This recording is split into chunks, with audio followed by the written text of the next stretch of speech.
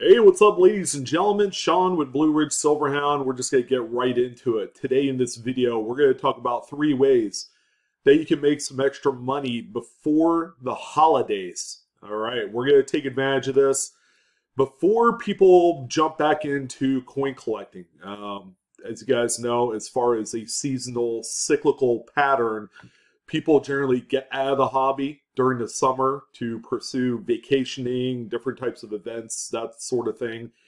And they really don't spend a lot of money in coins, or they just get out of coins altogether so they can enjoy the finer times in life. Um, we're not quite there yet to where people are beginning to come back in. Um, we are in August, toward the latter days of August. You know, September is just around the corner. Labor Day is just around the corner. But it's worth mentioning that generally around the kind of like middle of September, end of September, that's when you begin to see activities spike up. And that's where we see a lot of things happening in the auction world when it comes to numismatics. So let's go ahead and jump into what I would say is a no-brainer. And that's flipping those uh, those bank boxes or rolls. Now, you have to be kind of uh, uh, intentional in what you're doing here. Um, first and foremost, I mean, people are selling bank boxes, and they are generally selling for over face value. A penny bank box, for example, is $25. Uh, however, there is a way of marketing these where you're not selling it for this cheap. All right, and then check out the shipping. 1550 seems very pricey when you isolate that total amount as its own itemized line for every listing. What you want to do is to put it all together, ladies and gentlemen, and that's in integrating both the actual buy price of the item you're selling and incorporating shipping. So that way, when you go to, say, one of these listings where it offers free shipping, that just seems a lot more enticing to your customers. So when you go to sell these, what I like to do is incorporate both the shipping and the price of the item that you want. Now you got to make sure that you're making a profit. Um, and bank boxes seem to be kind of kind of performing really well. Uh, I would do a buy it now price, much like you see here, and for a twenty-five dollar box of pennies, um, considering that we are not quite into the fall season, I would certainly do seventy-four ninety-five shipped. Okay, that's going to take care of the eBay fees. That's also going to take care of the um, uh, shipping as well. Shipping, go ahead and throw this into a medium sized box, pack it really well, um, use lots of tape, uh, and there's ways of getting cheap tape, obviously. But you can profit anywhere, anywhere from 20 to $25 per $25 box by selling these. Now, it's not just about regular bank box of pennies okay? But you could also sell um, sealed bank boxes of one specific date, like 2021 uh, P and D. Minted coins are still selling for a good amount of money, and um, it seems to be the choice of a lot of like cherry pickers that are trying to identify brand new unattributed varieties and errors. Um, and you know, if you go to certain listings like a 2020 Denver, which Denver coins sell for a lot less than P mint coins. Um, although I'm putting my foot in my mouth because here's a 2021 P for uh, $50.50 shipped. Um, selling these for this amount of money is too low. All right, so there are ways of making more money. Uh, obviously, the further back you go, let's say if you had a, a sealed bank box of 2015 P Lincoln cents, those will sell anywhere from one to two hundred dollars because they have some pretty nice doubled dies to find in there. But as you can see, up and down the list, there's a lot of potential. Of course, people are selling bank boxes full that are rolled with wheat cents in there as well, and that's why those are selling for a couple hundred bucks. The the buy price on um, uh, on wheat cents has been going up quite a bit. I used to be I was able to buy a five thousand count box or box or bag of wheat cents for around 200 to 220 dollars and now for a 25 dollar bank box you're already at 200 dollars so this is also another way of making money is by recognizing the trends uh, on the secondary market of things of this nature. So money to be made. I would say the higher the uh, denomination, the more money that you'll make. Uh, but also take take into consideration if you have those full bank boxes of a singular date, like here's a 75D BU Lincoln Penny box, $25 face. For look at that, $165 shipped. All right. Um, and 1975D is not a special date at all. There's really not a whole lot to look at in there. And um, that's why I'm saying that things like that, if you're able to source them, whether you know your local coin dealer has weird, quirky stuff like that, where you could buy it for like 50 bucks and then flip it and make a hundred dollar bill on a lot of these listings. I, I, see it all the time. Even I've done it, and uh, I don't see why you guys can't do it either. If you have the resources locally, where again, this is all obscure stuff, stuff that generally a coin dealer won't have there front and center for you to just gawk at. You're going to have to ask them, hey, do you have any sealed rolls of, you know, whatever, in, insert your denomination of choice. And I've seen people whip out, or these coin dealers whip out all sorts of weird stuff. Um, uh, sealed bank rolls of silver dimes, and you know they're all BU, and yeah, it, it can get pretty crazy. And um, surprisingly, some of these dealers undersell these rolls. Um, but it's not just about actual full bank boxes. Like I said, actual rolls, there's quite a bit of a market for that. And um, it's actually going to pour into the one of my other um, uh, things that you can do to make money um, on eBay uh, before the holidays. So it's going to be a nice little tie-in to go from one to the other. We'll we'll we'll get to that uh, ship here sooner or later, but you know, yeah, this is this is a good one. This is uh, actually one of my favorite things to do if I can get a hold of them. Now, some would say that we are back into a coin shortage or coin recession, where there's where there's just not enough supply out there, and I seem to think, well, that's not that's not a supply issue, it's a people issue because there's a lot of people that aren't necessarily working because they're still claiming unemployment checks, you know, either the federal or the state checks that are being handed out. So um, that's something that will work itself out in due time uh, when these programs end and people have to actually go to a place to work to, to make their living.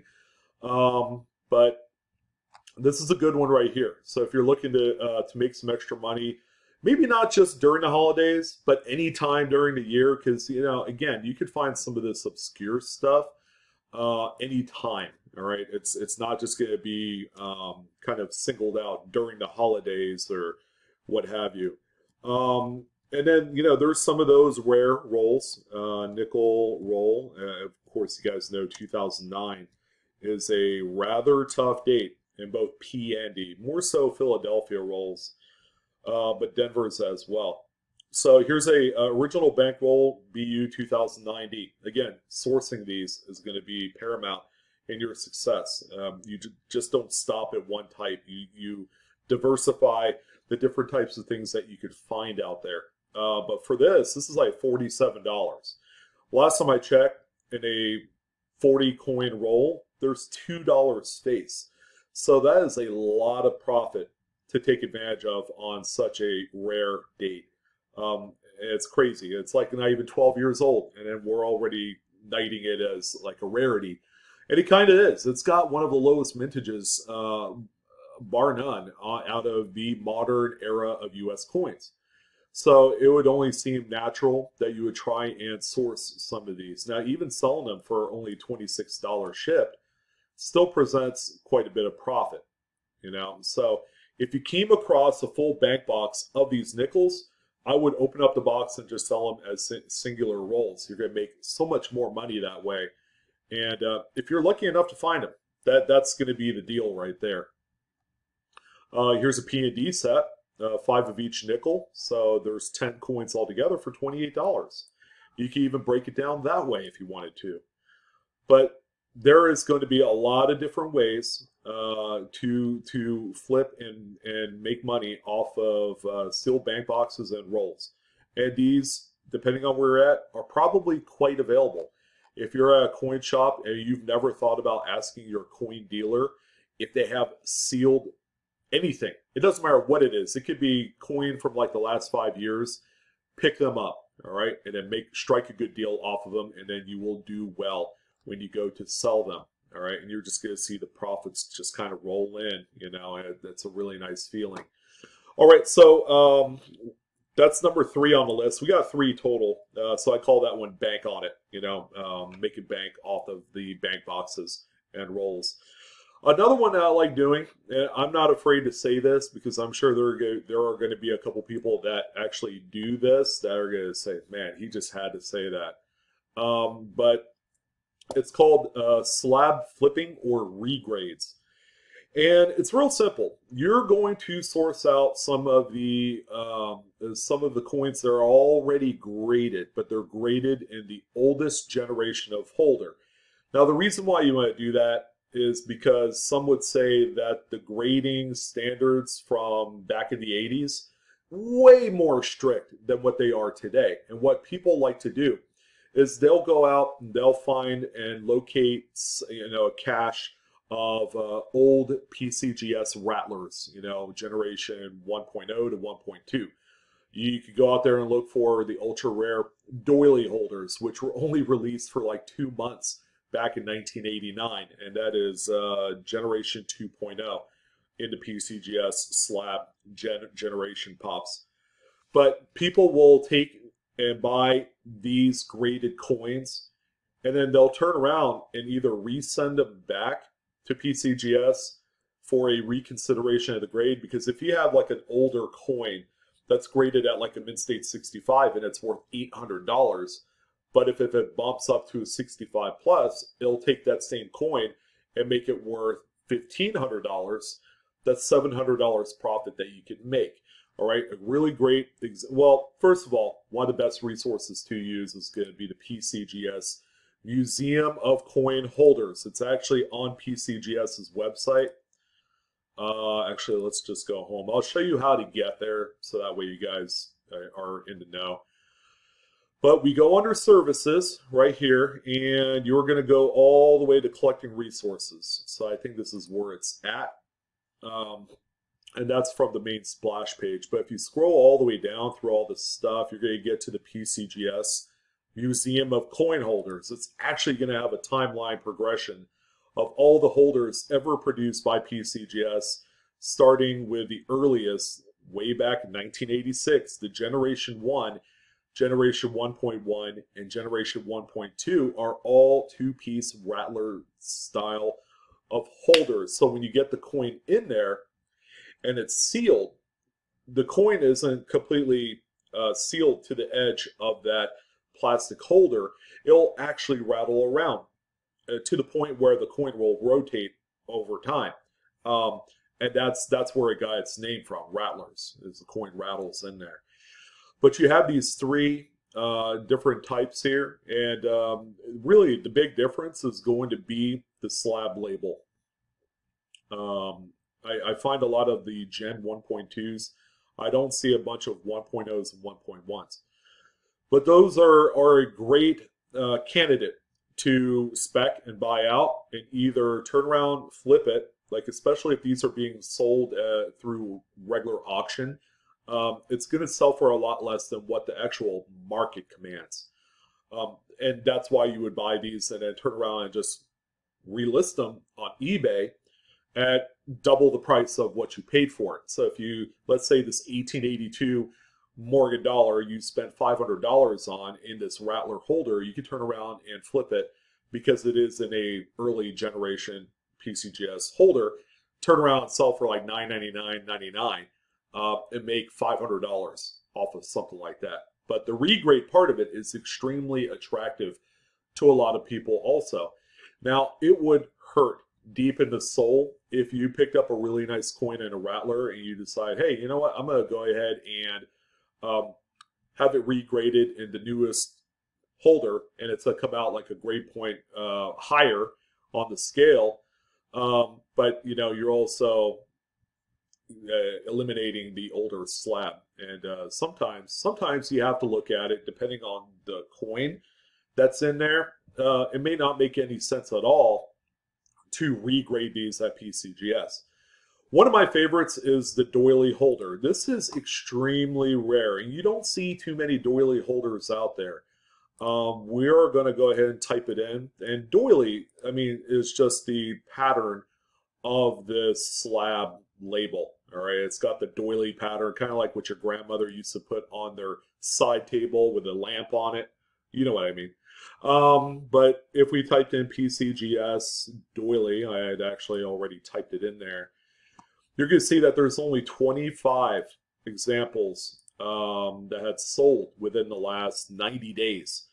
Uh, if we went and um, took it off, completed sold listings, as you can see, it's crazy. Here's a 1937S Washington Quarter, PCGS Mint-State 63 CAC doily label for $449. I mean, is that really a $449 coin? No. The doily holder, the CAC sticker, all these things combined made this coin worth a lot more. It's only a 63. So um, there's the power of the value of these doily holders. But as you can see, super big values. Here's a 1923, just a good old basic plain high minted Peace Dollar Mint-State 62. I mean, really? I mean, that's not really a great grade. But it's in that doily holder and it's CAC stickered as well for 299 simoleons, which is a lot because in hindsight, that's a $40 coin in Mint-State 62. Ask me how I know because I'm currently collecting Peace Dollars in Mint-State 61. But this is a great opportunity you could pick up some rather marginal coins, some higher minted stuff. I mean, here here's a 50 AD Roosevelt dime in a doily sample slab. There, these are still out there, ladies and gentlemen, to be had, and it's worth a lot of money. This uh, sample slab is extremely rare, and it probably sold for about a thousand dollars. That's how rare they are. So these are extremely good flips if you're able to find the doily slabs, these are the most valuable just based off of the slab alone. Some would say buy the coin, not the graded holder. In this particular case, you might have to buy the graded holder and not so much the coin. The coin at this at this particular juncture is irrelevant because when you have coins that are worth $150 in a slab that has a doily label and it sells for nearly $500, that says that says a lot. That's more than just the you know the coin itself. It's the history of the grading standards through PCGS that first kicked off um, the grading revolution. So as you can see, these coins, lots of common dates, selling for many multiple hundreds of dollars. This is a really great opportunity to make some money before October rolls around. All right. And there's no better time to do that than right now, you know, where some of this stuff has remained untouched at your local dealers or at the coin shows. You could buy these and literally maybe 2x your money, 1 1.5x your money. I mean, that's a pretty big deal. And some of them do get rather expensive. All right, so that is um, slab flipping and regrades. Uh, take advantage of it while you can. The general supply is going to drop quite a bit as time goes on and after people watch this video. So go figure. Uh, so yeah, yeah, that's that. You guys took a look at the PCGS Museum of Coin Holders. Be sure you bookmark that. I think it's really cool. Uh, you can even pull it up on your phone as well, which is nice. And then finally, the last thing that I would say would be a good idea to do to make money ahead of the holidays is going to be what's called target buyouts or simply market manipulation. We are going to identify a few coins that are quite scarce in the marketplace that either not a lot of people are touching or buying uh, because they just don't know about them, or popular coins uh, in certain grades that, that nobody's really paying attention to. Case in point, any West Point uh, circulation rarity quarter of 2019 and 2020 in a specific grade might be your target of choice. Okay, and that grade is going to be PCGS Mint-State 67. Not exactly the highest graded coin. Um, and we're going to type in 2020 W quarter mid state 67. Let's see what we got here. Uh, only 14 have sold within the last 90 days, which is quite small and uh, not exactly a cheap coin. But we are talking about the higher end of the curve. Uh, you're going to have your best bet making the most amount of money on 2019s because that's when a lot of people were grading these. By the time 2020 rolled around, you got to the last like three releases from 2020, people didn't grade them that often. So that's why a lot of these coins sell for over a thousand dollars in most cases. So if we typed in 2019, so that way I bring you guys back down to earth a little bit, you're going to find that there's a, a similar amount of sold sales at only 13, but you're going to see that a lot of these have sold for a lot less money. All right, half or sometimes even a third of the price. And then there's going to be cases where you come across stuff like this. This is a San Antonio missions that someone had picked up for only $130, which is a huge rip considering just the low pops of that particular coin. But this this is a great example of a targeted buyout. You know, you buy out a certain grade where there's not too many of them, and you literally obliterate the market. And when you take out the market for a coin in that price range and there's none to be had, people were going to have to go to the next level. And what you're going to do, and this is only if you have like some extra capital, you know, an extra maybe two thousand to three thousand dollars, you could do something like this. Is that you're going to take out all of the least expensive coins of that particular grade out of the secondary market and just hold on to them and let the market kind of like escalate up to its true potential. Like if you bought out all of the 2019 West Point uh, San Antonio missions quarters, you take them all out of there at 130, these things are going to go up in value. The seller, uh, Silver Eagle store, only has two more available at this grade. Now, I'd like to see those sold out. I might actually buy one myself because that is uh, rather cheap for a mint-state 67 West Point quarter. Um, but you go on down the list. I mean, here's another one right here that's in current auction with one day, four hours left. And you just, again, you're going to identify the cheapest coins of that particular uh, uh, state or um, national park and just go go to town. Like buy them all up, buy all of these up. I would even put in a best offer, maybe do like 110 or something like that, and take these all out of the marketplace. And then you're just going to see the prices jump up. If they double in price within six months, you're going to turn around, reintroduce your coins back out into the marketplace and sell them at $250. And that's what they call market manipulation. Um, it's easier to do when there's not a whole lot of supply of a certain coin. You know, if there's, say, 100, 200 of these mint-state 67 San Antonio missions, now we're going to be talking a completely different story. I would not buy all 200 of them at $130 a pop because it's just too many of them. Stay within the, um, the, the lesser expensive. And the San Antonio missions has been that one coin that that has consistently graded as 67. But as you can see, there's not a whole lot of them out there. You know, if you had a thousand dollars, you could buy out all of the mint-state 67s. And then there are other people that have actually posted mint-state 67 coins for $500. Okay, and then they got the max certification. You could do all the extras to help beef up the value of that coin before you reintroduce it into the marketplace, which is smart. That is a smart idea. And, you know, that's how you do it. That That is uh, a targeted buyout. You're focusing on one coin. You're, you're focusing on a roll, you know, like I talked about earlier in the show. 2009 nickel rolls. If you bought out all of them that's on eBay and just held on to them, and as as people begin to like put put up listings and they're still reasonably priced, snatch those up too because they are going to disappear. And the thing y'all guys ought to know about sealed roll and box inventory is that they are treated like assets. People will buy them. They won't rip them open. They'll keep them sealed. Okay, and then they'll just store them for 10 years, 15 years. They're going to be worth a whole heck of a lot more money when it's time to sell. So, you know, that's uh, a little something I picked up along the way from uh, crossovers into like sports cards and that sort of thing.